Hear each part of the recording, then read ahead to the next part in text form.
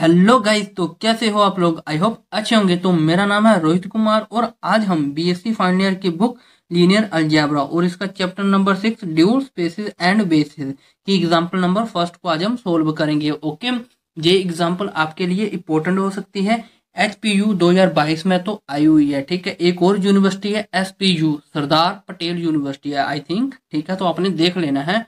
तो उसमें भी ऐसे यही बुक लगी होगी, उस कॉलेज में भी, ठीक है? तो आपने कर लेना है ओके तो इस एग्ज़ाम्पल नंबर वन को आपने एक फील के साथ समझना है, क्योंकि आपको मैं इस एग्ज़ाम्पल का फील दिला दूँगा ओके बस आपको ये डेफिनेशन याद रखना पड़ेगा बेसिस का ओके बाकी का आपको एक एक पार्ट समझाऊँगा तो अपने वीडियो में बने रहना है तो जल्दी से हम करते हैं इस क्वेश्चन को स्टार्ट और ये क्वेश्चन का पेज नंबर रहने वाला four eight nine new book में ओके तो जल्दी से करते हैं इसका सोल्यूशन पार्ट हम स्टार्ट। तो ये रहा, आपके पास क्वेश्चन आपने पढ़ लेना है और साइड बगल में आपको एक नंबर दिख रहा है। मान लो आपको किसी भी क्वेश्चन में प्रॉब्लम आती है तो मुझे वो क्वेश्चन व्हाट्सएप कर सकते हो। आपको वो क्वेश्चन पीडीएफ के रूप में या तो वीडियो के रूप में मिल जाएगा। ओके तो हम पढ़ते हैं अपना क्वेश्चन तो ये रहा, आपके पास ड्यूल ड्यूल का मतलब होता है कि दो, है ना? For B equal to E one और ई टू दे दे रखा हमारे पास ड्यूल नेचर का question of R square over R E one और ई टू की वैल्यू दे रखी है, ठीक है? मान लो यहाँ पे ड्यूल बोला गया है तो मतलब दो होने चाहिए। अगर तीन हो जाता है तो यहाँ पे आर क्यूब आ जाएगा, ठीक है? इतना आपने ध्यान में रखना है, ओके?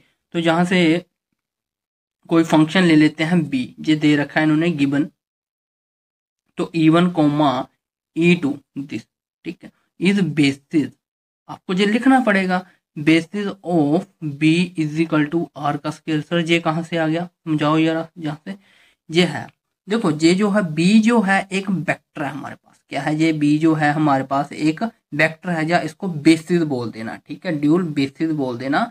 वो देखो ड्यूल बेसिस अब कितने फ़ंक्शन है ड्यूल बेसिस में? दो फ़ंक्शन है ना तो दो फ़ंक्शन को लिखा जाएगा आर का स्केयर मान लो जहाँ पे ई थ्री भी होता तो यहाँ पे आर क्यूब आ जाता। पहले ये बात क्लियर हुई? ठीक है। तो क्लियर हुई है तो आगे बढ़ते हैं। फिर डिमेंशंस बी अर्बिटेरी बोल लो या स्टार बोल लो, ठीक है? तो उसको लिखा जाता है dimensions B is equal to two sir two क्यों लिखा? थ्री क्यों नहीं लिखा? देखो, वही तो बात है। कितने फ़ंक्शन है? एक एक और दो, एक और दो, ठीक है? और इसको जब माना जाएगा एक यूनिट और ये भी एक यूनिट तो टोटल कितने यूनिट होंगी? दो यूनिट होगी, ठीक है? अगर तीन होते तो यहाँ पे तीन लिख देते। क्लियर हुआ है इतना? आगे बढ़ते हैं। फिर इसको हम ऐसा भी लिख सकते हैं, v इजिकल टू आर का स्केयर ठीक है?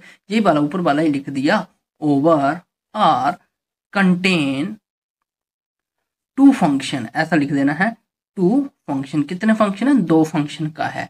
अगर तीन का होता तो उधर थ्री लिख देना है। आपने क्लियर हुआ? ओके अब देखो इसको ना, अब दो फ़ंक्शन है तो इसको ना दो फ़ंक्शन में डिवाइड कर लो, ठीक है? कैसे? अब देखो एक में तो हुआ है, ऐसे कर लो। B one is equal to five one comma five two ऐसा लिख सकते हो ओके अब देखो इनको क्या करना है, ये जो है ना, अब इनको अलग अलग फ़ंक्शन के साथ सेटिस्फाई करवाना है ओके देखते जाओ। बी द ड्यूल बेसिस लिखते जाओ बेसिस ऑफ़ बी ओके ये जो पहले बी है, अब बी वन ले लेना है, ठीक है? आगे देखो, अब एक और फ़ंक्शन चाहिए हमें। फाइव वन और एक्स कोमा वाई। इसको प्रूफ करने के लिए, ठीक हो? मतलब हमने जो लीनियर कॉम्बिनेशन में तो पढ़ा है, दो फ़ंक्शन आते हैं तो वो कैसा लिखना है? फाइव वन आपको लिखना पड़ेगा अल्फ़ा एक्स और बीटा वाई। ये तो डेफिनेशन ही है, ये तो डेफिनेशन बताती है, ये तो लिखना पड़ेगा। और फाइव टू को आपको लिखना पड़ेगा, क्योंकि ये ही दो फ़ंक्शन है। इसके अंदर भी एक्स वाई आते हैं, बट यहाँ पे लिया है गामा एक्स और डेल वाई। फॉर ऑल, क्या लिख सकते हो? For all. ये जो एक्स बाई है, पूरे के पूरे क्या है? आर स्केयर है मतलब ड्यूल नंबर है ओके रियल नंबर हो ही ना है रियल नंबर मत पढ़ लेना, ठीक है इसको? तो पढ़ भी सकते हो रियल नंबर ऐसा लग रहा है कि रियल नंबर ही है ओके तो रियल जितने भी यहाँ पे मैथ यूज़ किया जाता है, ये रियल नंबर है बट यहाँ पे ड्यूल नेचर आपने चलाना है ओके अब आपके पास अल्फ़ा बीटा और डेल्टा ये किसको बिलोंग कर रहा है? अल्फ़ा सॉरी आर को ही बिलोंग कर रहा है, ठीक है? आगे डेफिनेशन ये आपने देखो। ऐसे लिख देना है, ये फाइव वन का वैल्यू है एक्स वाई को बिलोंग कर रहा है तो स्केलर लेने अल्फ़ा एक्स और बीटा वाई और फाइव टू एक्स वाई को बिलोंग कर रहा है, एक गामा एक्स और डेल्टा वाई अलग से लिख लिया ओके आगे देखो कैसे करना डेफिनेशन ये डेफिनेशन आपको ड्यूल की याद होनी चाहिए फाइव आई और बी के कई बार एफ़ आई भी हो सकता है, ठीक है नॉर्मल है तो del I K is equal to तो फ़ंक्शन एक इफ़ वन के लिए आपका होना चाहिए आई इज़ इक्वल टू के होना चाहिए। और ज़ीरो के लिए आपका हमेशा क्या होना चाहिए? आई इक्वल टू नॉट के होना चाहिए ओके और बी के बिलोंग्स टू बी और इन फंक्शनों ये जो ना, ये जो बी के फ़ंक्शन है बी में बिलोंग करना चाहिए ओके आगे देखो कैसे करना है, बिल्कुल ईजी है। तो इन्होंने क्या बोला है, ये बी के का फ़ंक्शन बी को बिलोंग कर रही तो बी के फ़ंक्शन क्या है, ये है ना? तो देखो इसको हम ऐसे लिख सकते हैं बी के इज़ इक्वल टू ई के लिख दिया। फॉर के की जगह पर क्या रखना है? वन टू थ्री रखते जाना अरे थ्री नहीं रखना है, क्योंकि तीन तो है ही नहीं, है ना? ठीक है? आगे देखो कैसे करना है। जे तो समझने वाला है फाइव वन ई वन कहाँ से आया सर? डेल वन कहाँ से लिख दिया? जे वन कहाँ से लिख दिया? इसको समझो ध्यान से, ठीक है? अब देखो, ये जो फ़ंक्शन आना ना, आपका फाइव वन ठीक है? इसको इसके साथ कंपैरिजन कर दो। फाइव वन ई वन और इसको ले लो ये वाला फ़ंक्शन ठीक है? फाइव वन, ई वन को हम लिख सकते हैं, ऐसा भी लिख सकते हैं खुद ये वन वन है तो उसको डेल्टा वन में चेंज कर दो तो डेल्टा वन आ गया। Is equal to, is equal to देखो, ये वन वन चला हो तो वन का फ़ंक्शन देखो क्या है, पहला वन है तो इज़ इक्वल टू वन। आगे देखो इधर ध्यान से फाइव टू इधर आएगा सॉरी फाइव वन ही चलेगा पहले, फिर ये आएगा ई टू तो इसके लिए क्या लिखना पड़ेगा, ये वाला, डेल्टा वन टू तो ये देखो क्या है। ये है हमारा ई e टू ये हो जाएगा ई वन ई टू ऐसे समझना है इसको ओके तो इसमें क्या हो जाएगा? ज़ीरो अब आगे देखो हमारा किसके लिए चलेगा? फाइव टू के लिए चलेगा।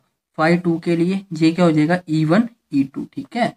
तो ये ई e वन हाँ जी, अब देखो डेल्टा क्या हो जाएगा? टू वन हो जाएगा ओके तो टू वन इसमें देखो ना पहला फ़ंक्शन क्या है? ज़ीरो तो ज़ीरो के इक्वल हो जाएगा ओके अब देखो जो फाइव टू रहेगा अब हमारा क्या हो जाएगा ये ई टू हो जाएगा। इतना तो आपको क्लियर हो रहा है ना? अब जहाँ पे लिख दो डेल्टा टू डेल्टा टू थोड़ा स्किप हो गया था। डेल्टा टू डेल्टा टू इसके लिए वैल्यू क्या है हमारे पास? वन इतना तो आपको क्लियर हुआ। इसके बाद हम यहाँ पे कर देते हैं। ओके हाँ जी। अब देखो, अब थोड़ा सा ध्यान दो। ये फाइव वन और ये फाइव वन क्या आ गया? हमारे पास कॉमन आ गया। ठीक है? अब देखो जे एक वन और एक जे ज़ीरो मैंने ऐसे लिख दिया। ओके अब देखो जे वन पे है ना फाइव वन है तो पहले वन पोजीशन पे क्या आ रहा है? वन आ रहा है, इतना लिख दिया ओके अब देखो फाइव वन एक बार करो, उल्टा कर दो ना इसको, घुमा दो ना इसको। ज़ीरो वन कर दिया तो पहले पे देखो वन पे क्या आ रहा है, यहाँ पे ज़ीरो आ रहा है तो इक्वल टू में ज़ीरो लिख दो ना। अब देखो फाइव टू का ले लो हम्म फाइव टू का इधर देख सकते, या तो ये देख सकते हो ओके पहला क्या मिल रहा है जहाँ यहाँ से कॉमन ले लो अब फाइव टू तो ज़ीरो वन मिल जाएगा ना तो ज़ीरो और वन मिल जाएगा। ओके, अब देखो टू पे क्या मिल रहा है हमें? क्या मिल रहा है जरा बताओ हमें। टू पे हमें मिल रहा है सॉरी सॉरी थोड़ा सा मैंने रोंग ले लिया, ओके? जहे इसी को घुमा देते हैं, ठीक है? ये हमारा फाइव वन है ना तो यहाँ पे फाइव टू कर दो और इसी को लिख दो वन कोमा ज़ीरो अब टू के टू पे क्या मिल रहा है हमें? ज़ीरो मिल रहा है तो ज़ीरो लिख दो ना। फाइव टू अब इसको थोड़ा सा घुमा दो। अब ज़ीरो वन कर दो। ठीक है? तो इस पे टू क्या मिल रहा है? वन मिल रहा है। ओके मतलब यही चेंज करते रहना। है ओके तो इतना तो आपके पास आ गया। अब आपने क्या करना है? लिख देना है इधर, ये जो आपके पास अल्फ़ा है ना, ये वाला तो अल्फ़ा का वैल्यू क्या आ जाएगा आपके पास? ये था अल्फ़ा ठीक है, ये बोला अल्फ़ा है तो अल्फ़ा की वैल्यू कितनी है? वन ये जो फाइव वन था ना, ये था आपका, ये देखो, ये वाला, ये आ जाएगा beta is equal to zero जो कुछ इस तरह से लिखना है। और ये आ जाएगा तीसरा फ़ंक्शन आपके पास गामा तो गामा का वैल्यू कितना है? ज़ीरो अब ये जो वाला फ़ंक्शन है ना डेल तो डेल हमारा आ जाएगा इसके इक्वल वन तो आपने ये क्वेश्चन ऐसे करना है, ठीक है? तो नीचे आप ऐसा लिख सकते हो इधर five one X comma Y ऐसे लिख सकते हो, ये भी एक्स के इक्वल हुआ। ओके अब देखो five two X Y is equal to J Y के इक्वल हुआ, ठीक है? अब देखो ना, क्योंकि देखो एक्स का वैल्यू कितना मिला है? यहाँ पे वन मिला है ना, ये एक्स के लिए। मतलब हमेशा एक्स पहले मिला ना, ये मान लो ये एक्स है, ये वाई है, ठीक है? तो इसमें वाई हमें ज़ीरो मिल रहा है तो ये क्यों लेना है? इसमें देखो हमें एक्स क्या मिल रहा है? ज़ीरो मिल रहा है, इसमें वाई क्या मिल रहा है? वन मिल रहा है तो इसलिए यहाँ पे वाई ले लिया गया है, ओके? तो ये क्वेश्चन इतना ही। प्रूफ किया गया है बुक में। तो ऐसे ही हम मिलते हैं नेक्स्ट वीडियो के साथ। तब तक के लिए bye bye and take care